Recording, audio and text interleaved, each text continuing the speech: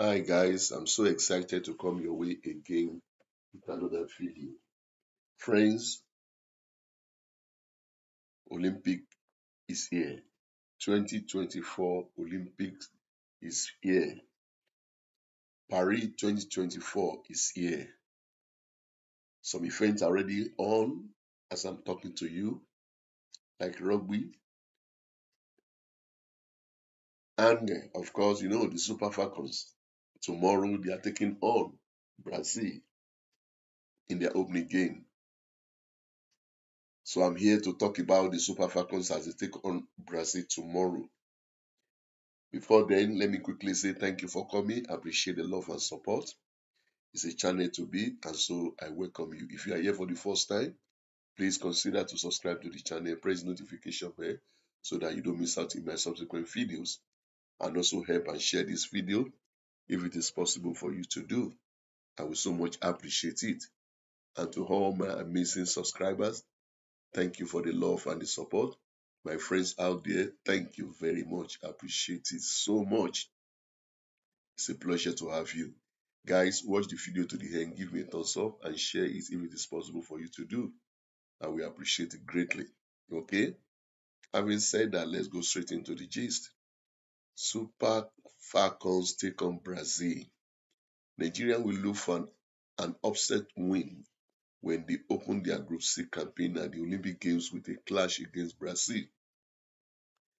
The match is set to take place at Stade de Bordeaux on the evening of Thursday, the 25th of July, and the kickoff is 7 p.m.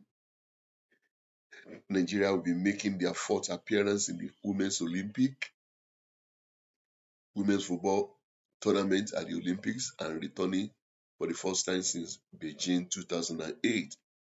The Super Falcons' best showing was in 2004 when they reached the quarterfinals, while in 2000 and 2008 they were eliminated in the group stage.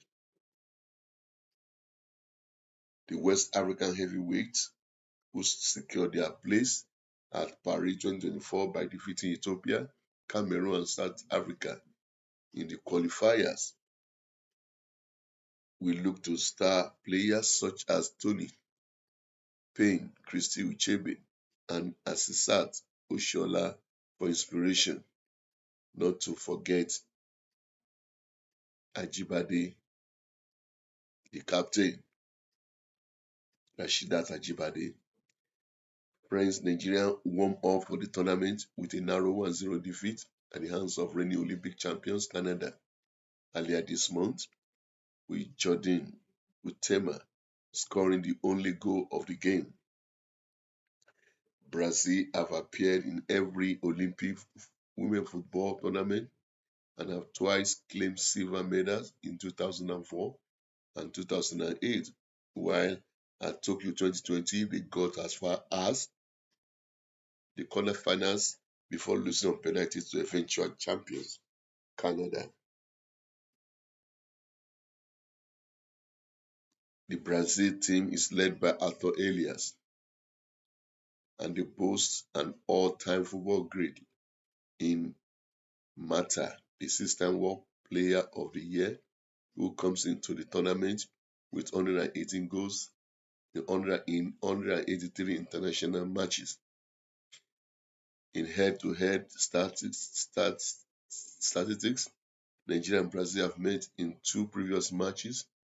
The South American claimed a 3-1 victory in the group stage of the 2008 Olympics as well as a 4-3 win after extra time in the quarterfinals of the 1999 Women's World Cup. So, the stage is now set for the opener between superpower Brazil and the African Queen, the Super Falcons of Nigeria. It's going to be a very crunchy, very tough game. And of course, they say when two elephants fight, the grass suffers. Well, it's going to be very, very tough. Or and uh, whatever it is, Nigeria girls are ready to face the Brazil, the Brazilian girls. Well, they prepared as much as they can. In the warm-up match, the only warm-up match they played, they lost narrowly to Canada, Canada, the reigning champion, Olympic champion, by a lone goal. So, friends, what are your opinions? What do you think about Super Falcons going into this encounter tomorrow? Do you think they have any chance of winning? Can you predict the outcome of tomorrow's match between Nigeria and Brazil? I'd like to know, guys. Let me know what you think about Super Falcons taking on Brazil in their opening Group C match tomorrow in the women event of the 2024 Olympics being hosted by France. Guys, thank you so much for your support and love. I appreciate it greatly. Okay, thank you. Till I come your way next time with another video, I'd like to say to you guys, bye bye for now.